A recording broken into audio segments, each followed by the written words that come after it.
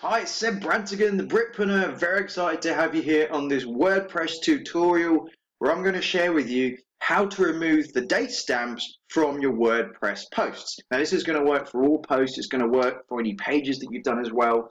Um, so I'm just going to jump right into it, really. Um, so this is going to be useful if you want to keep all of your content evergreen. I would also make sure that the uh, content that you're writing, uh, the blog post itself, don't have dates in there. So whenever you're writing content, uh, unless you plan to update the blog post or the piece of content you're doing, I would always endeavor to leave out date specific stuff because you've always just got to go back and edit it and change everything. Um, so if you want to keep everything evergreen and if you want people to see your content and, uh, and, and not see it as outdated, then this is what you do.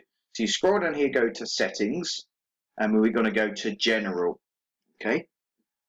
Uh, so you get, get yourself into uh, WordPress so you can see all this stuff. And we want to come down here to date format. Okay. Uh, now there'll be, uh, depending on how your WordPress was set up, I think the default is they put some uh, letters in here. I think uh, when I before I changed this, what was here was in this little box here.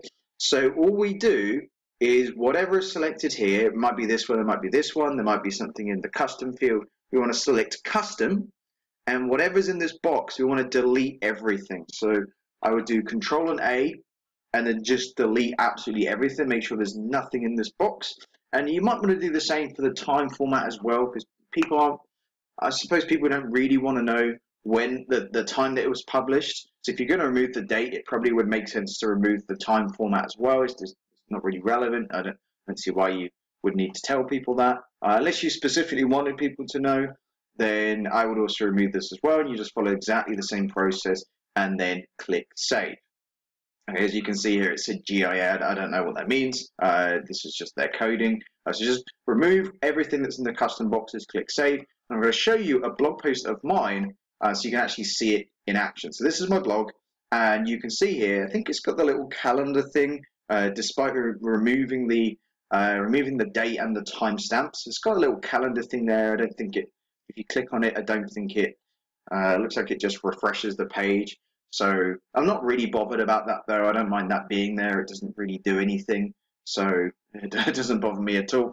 But I hope you enjoyed this tutorial on how to remove uh, date and timestamps. So you don't need any plugins. Uh, having too many plugins on WordPress, uh, you know, can slow your, your site down for, you, for yourself and for your users. So try and avoid plugins for stuff like this when you can just do it all uh, within your settings. So hopefully that helps you. Hopefully this has been a great tutorial for you.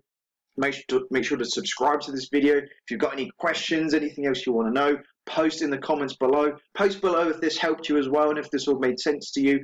And you can also download my Unstoppable Marketing PDF, which is my specific seven-step guide on how I became a full-time digital marketer and a full-time marketing consultant at age 25. So make sure to pick up that guide as well. There's a link below this video, so make sure you download that. It's totally free.